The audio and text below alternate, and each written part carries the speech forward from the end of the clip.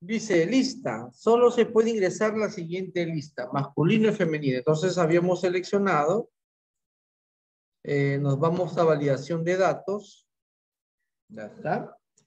Y aquí habíamos seleccionado lista, ¿no? Cuando queremos una lista, se escoge acá lista. Y les estaba diciendo que aquí eh, hay dos opciones que están activadas, ¿no? Omitir blancos y celda con lista desplegable. Este botoncito, esta opción, te va a mostrar un botón, como si fuera una lista desplegable. Y aquí, abajo donde dice origen, podemos escribir o seleccionar dónde se encuentran los datos que tú quieres mostrar en esta lista. Como no lo tengo escrito ahorita, lo voy a escribir aquí directamente. Vamos a colocar así, masculino, coma, femenino.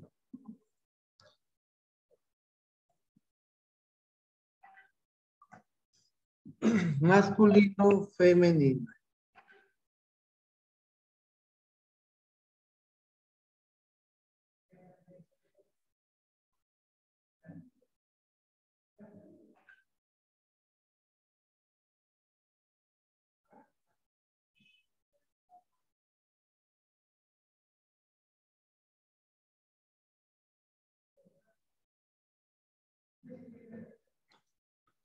Y aceptamos. Bueno, todavía no hay que aceptar. Vamos a la mensaje de error. Entonces, miren bien. Lista masculino femenino.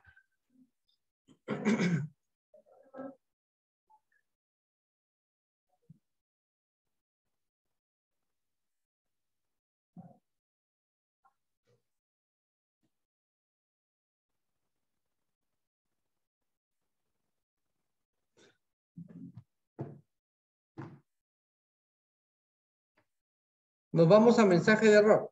Entonces vamos a colocar aquí ICEP nuevamente. Y acá hay mensaje de error. Vamos a colocar seleccione un elemento de la lista.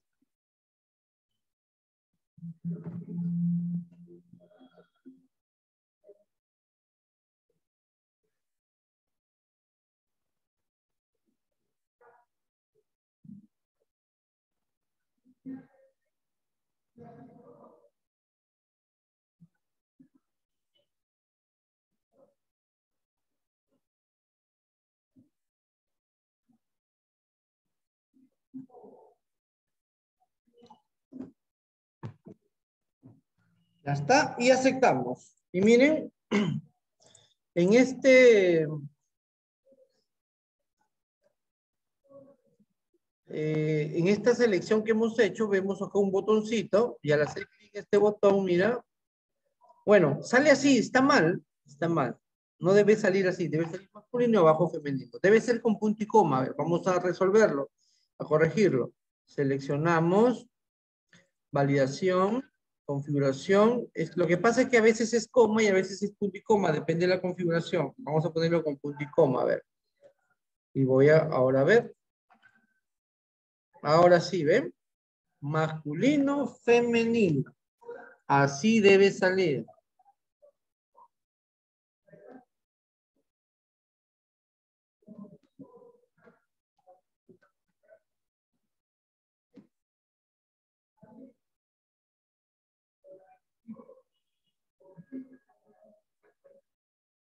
Bien.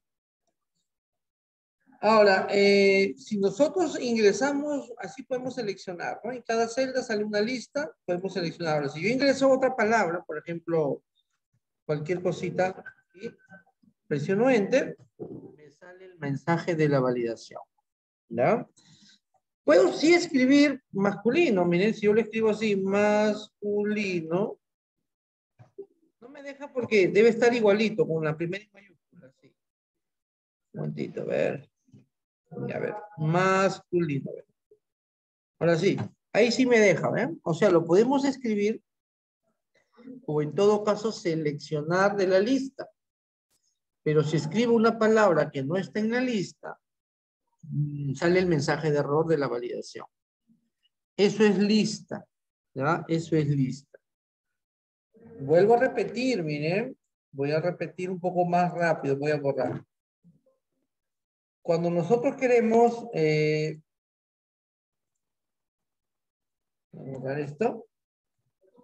Hacer una lista, tú seleccionas, te vas a validación, colocas lista y aquí en origen colocas las palabras que quieres que se muestren en la lista, ¿no?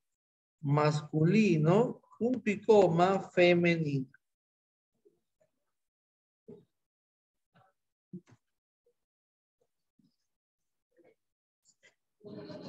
Ahí está, masculino, femenino.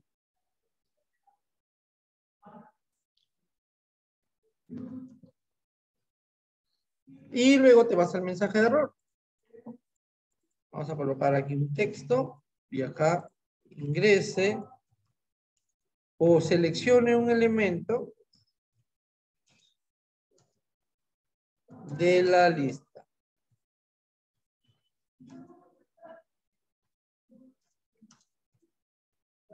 Listo. Y ahora sí, miren, acá salen los elementos de la lista. Y si tú escribes una palabra que no está ahí, no te deja avanzar. ¿Bien? Listo. Vamos a la lista 2. Lista 2. Eh, solo que muestre los datos de un rango. Cuando nos dice que muestre los datos de un rango, entonces, por ejemplo, miren, eh, vamos a suponer que por aquí, por este rango, puede ser en otra hoja también, tenemos unos datos, como por ejemplo, soltero, sí, soltero, casado, viudo, viudo, divorciado.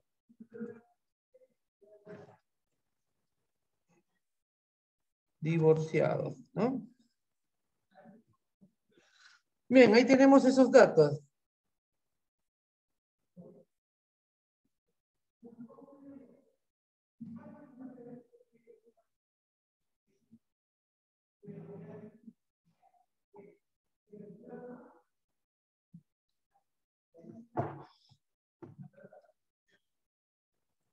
Bien, entonces miren, tú seleccionas el rango, te vas a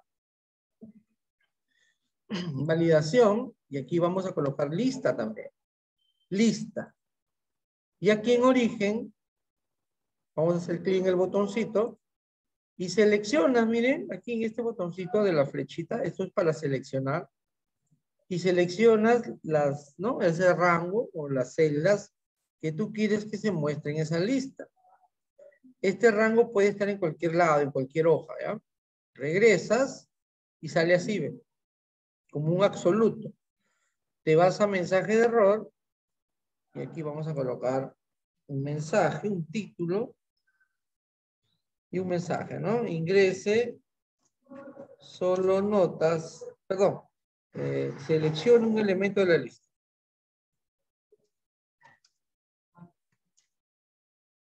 De la lista.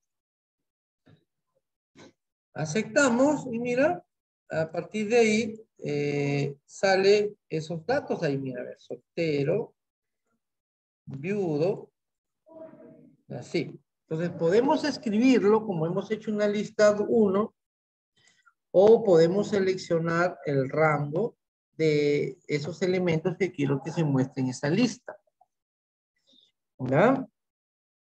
A ver, ¿se entendió esa parte de las listas? Pregunten.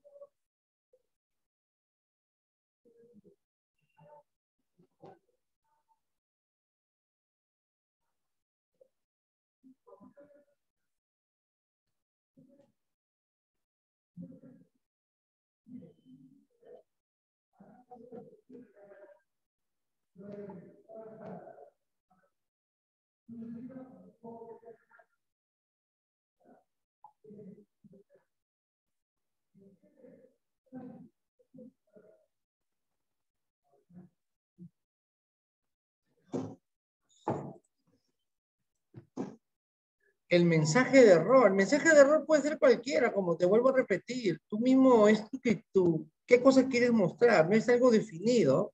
¿Ya? Podemos colocar selección de un elemento en la lista o podemos colocar eh, escoja una opción de la lista. Depende de ¿no? lo que tú quieres mostrar en el mensaje de error. Pero no es algo definido. No es que si escribes mal ya va a salir mal, no. Es un solo mensaje, nada más. ¿Bien? ¿Preguntas? ¿Se entendió sobre la lista? ¿Lo tenemos claro? Para avanzar, ya lo tenemos claro de la lista. Nosotros podemos este, seleccionar elementos de un rango para que se muestren en esa lista. A eso se llama validar listas.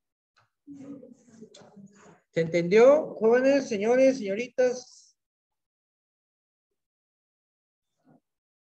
Sí, profesor, se entendió. Ya, a ver, traten de hacerlo ustedes también. Nos vamos por notas. A ver, acá más voy a colocar notas. Solo notas entre 0 y 20. Solo notas entre 0 y 20. Sueldo. Solo sueldos mayores a 1000.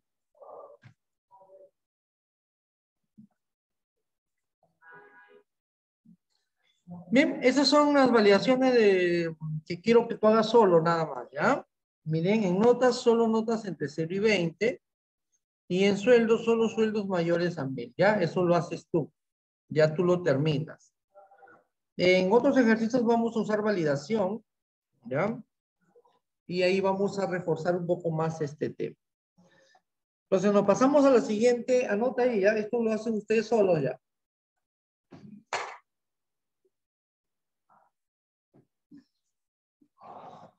quiero que ustedes validen solo notas entre 0 y 20 y en sueldos, solo sueldos mayores a 1000 me envían su práctica. ¿ya? Nos pasamos a la siguiente hoja. Vamos a colocar aquí categoría. Sueldo.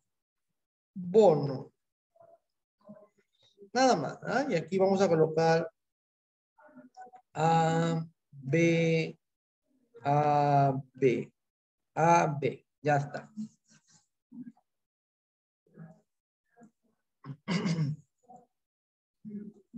A ver, repito, aquí esto de la validación de notas, solo notas entre 0 y 20, ustedes los van a hacer solos. Sueldos también, solo sueldos mayores a mí, ya ustedes lo hacen. Ahora, nos pasamos a otra hoja y vamos a hacer este pequeño cuadro para poner en práctica una nueva función. En este caso sí es una nueva función, una función bastante útil que vamos a aprender en este ejercicio.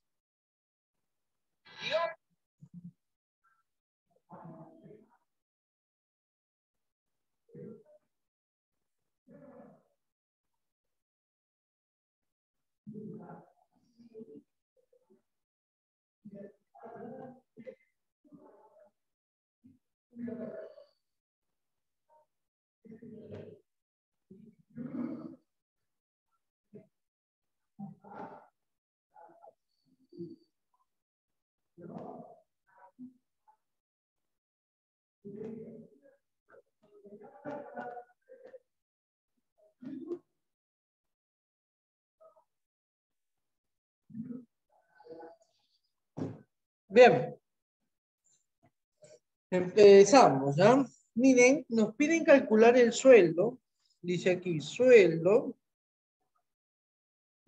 va a ser igual si tiene, tiene categoría A,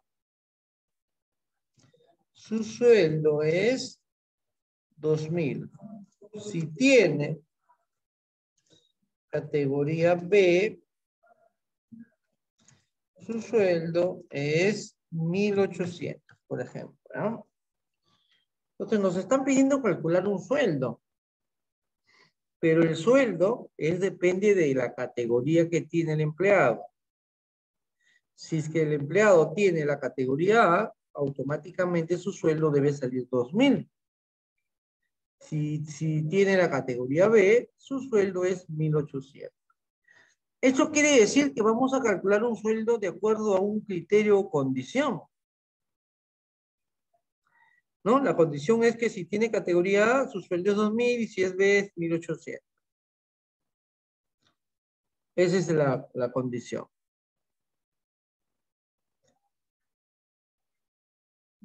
Entonces, cuando nosotros necesitamos calcular, calcular, no contar, ni sumar, ni sacar promedio, ¿no? Sino calcular cualquier cálculo de acuerdo a una condición, debemos conocer una función que te voy a anotar aquí, que es una función que no solo la encontramos en, Excel, la encontramos en varios lenguajes de programación también. Entonces vamos a colocar acá función condicional sí. Permite realizar todo tipo de cálculo de según, según la condición o prueba lógica colocada en la función.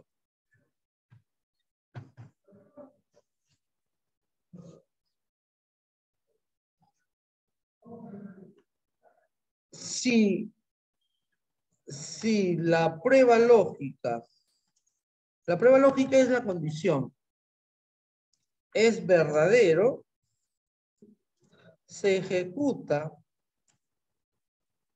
la parte verdadera de la función. Si la prueba lógica es falso, se ejecuta la parte falsa de la función. O sea, si la prueba lógica, ¿no? Al momento de... Es como cuando hacíamos contar sí, ¿no? El, la, el valor se comparaba con la condición y de acuerdo, si cumplía la condición, lo contaba, ¿no? La función. Igual en la suma. Cuando usábamos sumar sí, de acuerdo a la condición, sumaba, ¿no? Si no cumplía la condición, no lo tomaba en cuenta y no lo sumaba.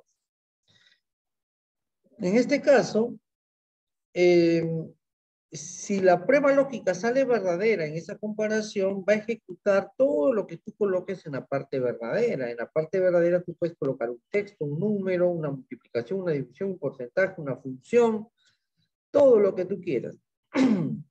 y si la prueba lógica sale falso, ejecuta la parte falsa de la, función. Es por eso que su sintaxis de esta función es así, mira. Igual, si eh, esta es la prueba lógica o la condición, punto y coma. Si es verdad, si es verdad, punto y coma, si es falso.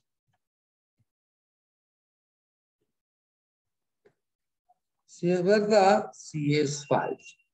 Entonces, aquí, ¿no? Si esta prueba lógica sale verdadero, ejecute esta parte de aquí. Toda esta parte que dice si es verdad, es lo que puedes colocar tus textos, números, fórmulas, multiplicaciones, divisiones, funciones, lo que tú quieras. La, fórmula que va a, este, a, a resolver lo que te han pedido calcular. Si esta prueba lógica salió falso, va a ejecutar la parte falsa. O el caso contrario. ¿No? Es como decir, eh, si tienes más de 10 años trabajando, vas a recibir un bono del 30% del sueldo. A eso hay un caso contrario, ¿no? Entonces alguien le puede decir, pero ¿y los demás? Bueno, de lo contrario, si no cumple, no tiene esa cantidad de años trabajando, no se le va a dar nada o se le va a dar el 5%. Siempre en una condición hay un verdadero o hay un falso, hay un resultado, ¿no? Siempre cuando comparamos algo lógico, siempre hay si es verdad o si es falso. Es como decir, ¿no? Si ganan más de 2,000, a todos los que ganan más de 2,000, se les va a descontar 5%.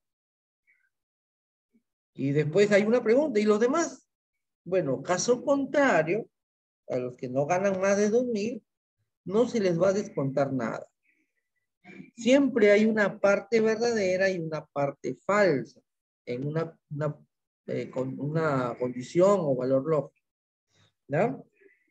Es por eso que esta función tiene su parte verdadera si la prueba lógica sale verdadero y su parte falsa si la prueba lógica es falso. En la prueba lógica te hago recordar que vas a usar el igual, vas a usar el mayor, vas a usar el menor, vas a usar el mayor igual, el menor igual, el diferente.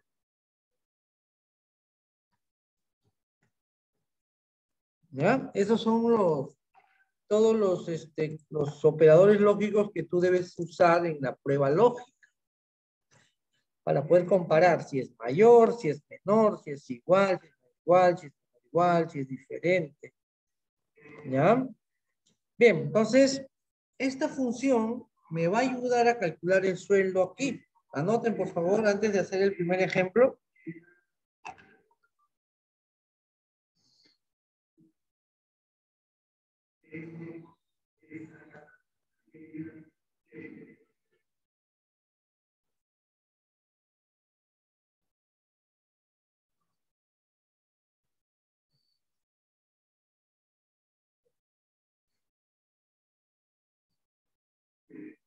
Yeah.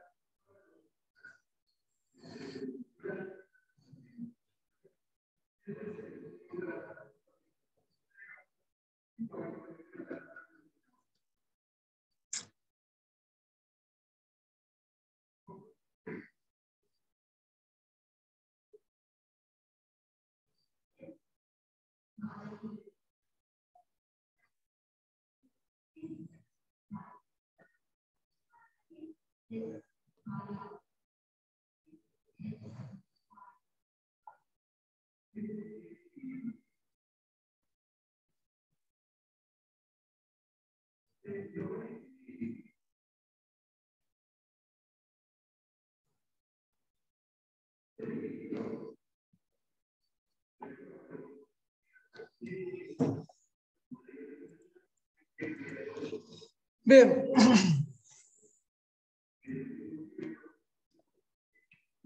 Vamos a poner en prueba entonces. A ver. Aquí, miren. En este, en este cálculo me están pidiendo calcular un sueldo, pero ya es depende de una condición. Dice, si tiene categoría A, su sueldo es 2.000. ¿Ya? Si tiene categoría A, su sueldo es 2.000. Vamos a, corregir acá. Si tiene, coma, si tiene categoría B, su sueldo es 1800. ¿Ya? En este caso hay A y también hay un B, ¿no? Hay dos condiciones, bien es A o bien es B. Entonces, la única función que te va a ayudar a calcular este sueldo es la función C, ya que te permite comparar. Si es que tiene categoría A, va a calcular los 2000. De lo contrario, si tiene categoría B, va a calcular los 1800. Entonces, miren, esta función lo vamos a poner en práctica. Esto. Vamos a hacer su sintaxis así, miren. Colocamos. Igual sí. Profesor, ¿y por qué vamos a usar sí? Porque hay una condición, nos están pidiendo calcular un sueldo, pero de acuerdo a unas condiciones. Y esta es la única función que te permite calcular todo tipo de cálculo de acuerdo a un valor lógico condición. Entonces colocamos igual sí, abrimos paréntesis, viene la prueba lógica. Viene la prueba lógica. Si A2, ¿no? A2 ¿Por qué tengo que comparar a 2? Porque esa es la categoría, ¿no? Dice, si tiene categoría A, entonces A2 es la categoría. Si A2 es igual a, estoy utilizando el signo igual para comparar si es que A2 es igual a A. Esa comparación se llama prueba lógica. Ahí termina, punto y coma. Viene la parte de verdad, dice valor sí verdadero. Este. Entonces, ¿qué, es, ¿qué quieres hacer o qué se debe hacer si es que esto es verdad? Si es que tiene categoría ¿qué cosa tienes que tenemos que calcular? Bueno, nos están diciendo que su sueldo es 2.000. Entonces colocamos 2.000. En palabras dice, si A2 es igual a A, o si es que tiene categoría A, en la parte verdadera, si eso es verdad, que salga 2.000 o su sueldo es 2.000. Viene el punto y coma. Caso contrario, o si es falso, si esto es falso, es como si tú digas, ¿no? ¿Sabes qué? A los que tienen categoría A les vamos a dar 2.000 de sueldo. Tu pregunta, señor, pero también hay que tienen categoría B. Ah, a los que tienen B les vamos a pagar 1.800. Esa es la parte falsa, ¿no? Entonces, en la parte verdadera, si es que tiene A es 2000, y en la parte falsa, directamente colocamos 1800. ¿Por qué ya no es necesario compararlo? Porque solo hay dos, hay A y B.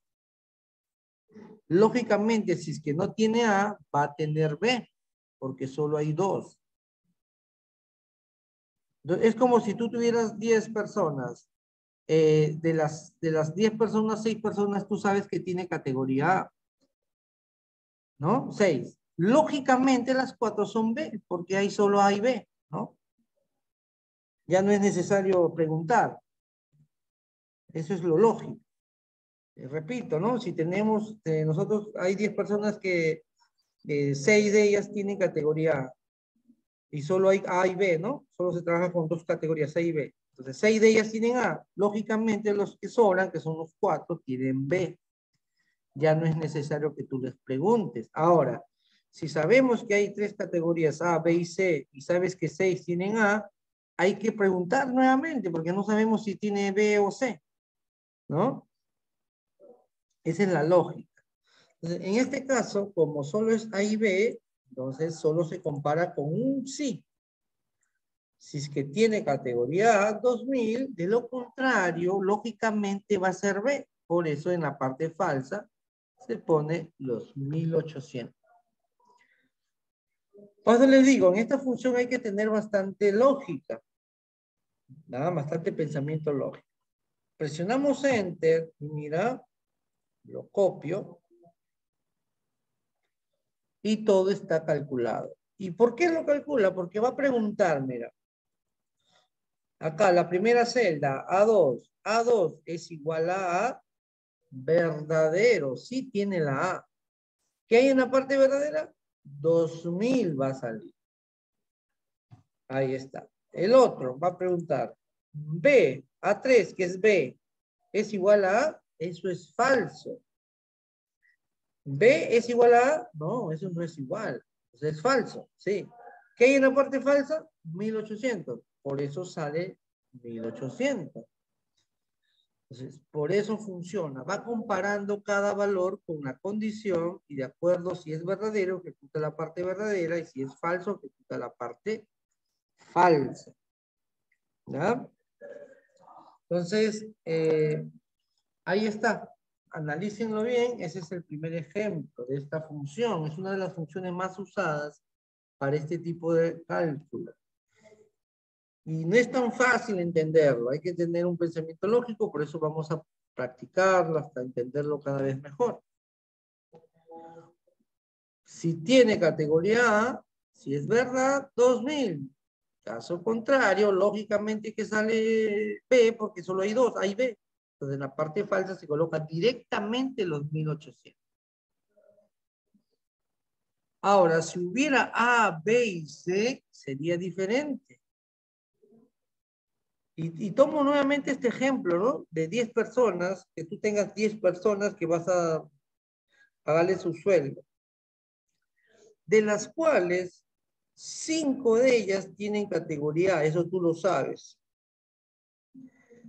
Entonces, em, pero eh, si existieran las categorías A, B y C, y tú sabes que cinco tienen A, cinco sobran, que tú no sabes. Pero como son tres condiciones, tendrías que preguntarles, ¿no? Si es B o es C. Entonces tendrías que hacer otra pregunta nuevamente.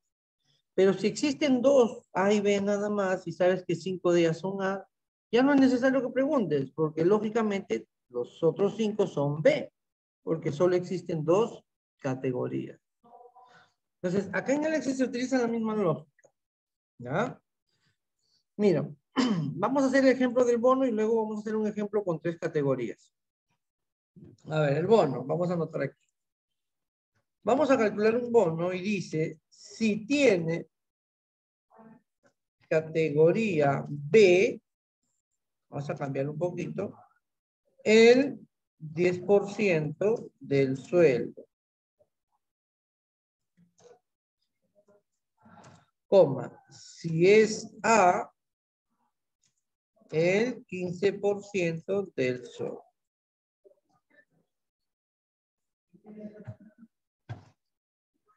Ahí está, jóvenes. Miren, el bono nos están diciendo que debemos calcularlo de acuerdo a la categoría. Si tiene categoría B, se le tiene que pagar el 10% del sueldo en su bono. De lo contrario, si, si, si es categoría A, el 15% del sueldo. Bien, entonces empiezo. Igual sí.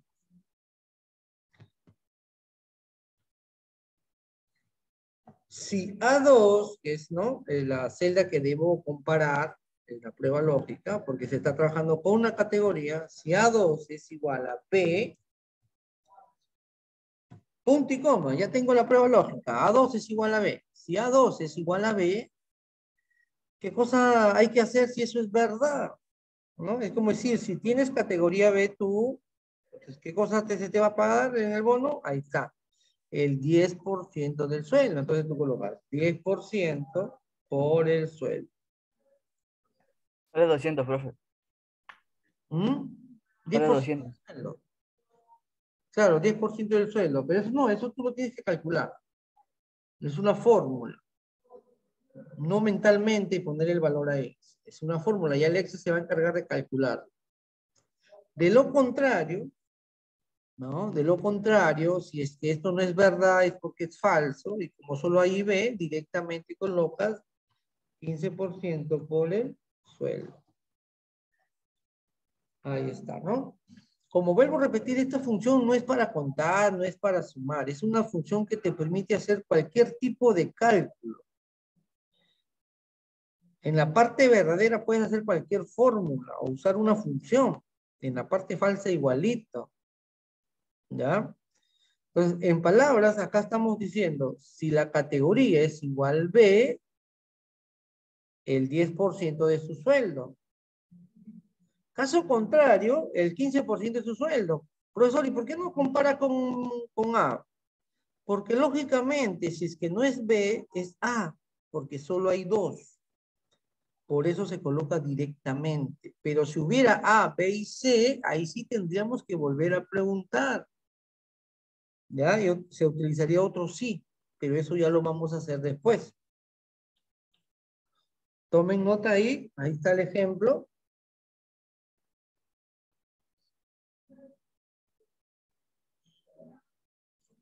Tomen nota para que ustedes también lo analicen, ¿ya? Y lo puedan entender. Yo sé que en palabras lo entienden. Miren, si nosotros, si yo te dijera, acá vamos a suponer que es el bono. Si te dijera, ¿sabes qué? A los de categoría A le vas a dar el 10% del sueldo. Entonces tú ves acá, a ver, este es A, ¿no? Ya, entonces 10% es 200, ya. Tú, a ver, ah, tú eres B, tú eres el 15%, ya, 15% es tanto. Tú, a ver, ¿qué eres? Ah, a ver, aquí te pertenece el 10%, tanto. No, el 15, ¿no? Tanto. Aquí, ah, tú eres B, ahí a ti tenemos que darte el 10, así, ¿no? O sea, manualmente lo entendemos sabemos que, qué hay que hacer. Pero aquí, eh, para que sea automatizado, para que no estés haciendo uno por uno, en Excel tienes que hacerlo con esta función. Comparar y decir, si, si eres B, si tienes categoría B, el 10% del sueldo. De lo contrario, significa que eres A, por eso que directamente se coloca el 15% del sueldo.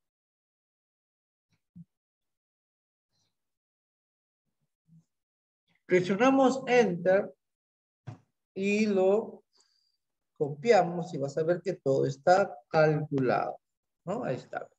El objetivo de Excel es esto, porque tú hagas el primero y se copie, no es hacer uno por uno. Uno por uno se hacen las estadísticas, ¿no? Generales. El total de las planillas, el promedio de los sueldos, el sueldo mayor, eso sí es uno por uno, porque son estadísticas de un rango, ¿no? Pero en el caso de un cálculo, de un cuadro, se hace el primero y el resto se debe copiar. Si tú lo haces uno por uno, es no saber Excel.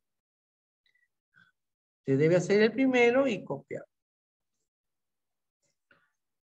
Bien, al regreso vamos a hacer un ejemplo, ¿ya? De, con tres, con A, B y C. Lo mismo, pero con tres eh, categorías, por ejemplo. Así, ¿ya? Vamos a colocar así, categoría, y vamos a colocar A, B, A, C, B, C, B, C, A y C. Ahí está. ¿eh? Tres condiciones y vamos a calcular el suelo. Pero eso lo, hacemos al regreso. Al toque dos minutitos voy a enviar ya el enlace para que se conecten y poder ya hacer este ejemplo y con eso estamos finalizando la clase de hoy día. ¿ya? La próxima clase nos metemos profundamente a esta función sí. Vamos a hacer varios ejemplos para llegar a entender esta función que es muy útil para calcular con condiciones. Regresamos.